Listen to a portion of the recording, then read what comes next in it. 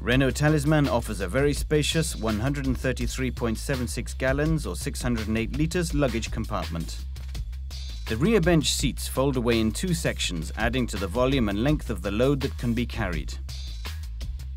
The ski flap in the rear bench seat means that you can also carry long items.